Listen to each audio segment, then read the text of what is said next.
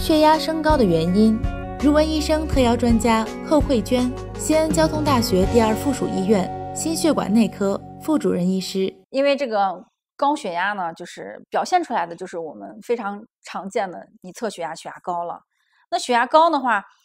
嗯，是要找找原因的，特别是对于一种四十岁以下的这个年轻人。如果你初次发现血压高，我觉得还是要找找原因，因为中国现在是高血压大国，十四亿的人口中，可能有两三亿的人都是高血压，这么大一个人群的高血压的一个庞大的一个人群群体，其实，在整个人群群体中呢，百分之九十五甚至于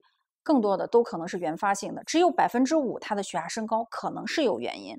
那这些原因有哪些方面呢？要让我们去排除、去寻找呢？第一个呢，原因呢，我想。在继发性高血压原因中呢，需要排除的就是肾脏疾病，因为不论是你肾脏的实质出了问题，比方说肾小球肾炎啊，或者是你的肾血管出了问题，我们说的肾动脉狭窄，那甚至于你这个肾上腺啊出现了一些呃疾病的状态，比方说是个细胞瘤，都有可能会引起患者血压的升高。所以呢，要排除一下患者在血压升高的。同时呢，找找原因，找找有没有一些继发的原因，有没有肾脏的疾病的原因，甚至于还有一些内分泌疾病可能也会引起血压高。比方说我们说的源醛，还有皮质醇增多等等等等。排除了这些继发性的原因，如果还找不到你引起血压高的原因，我们才去诊断原发性高血压。因为原发性高血压就是不明原因引起的血压升高，可能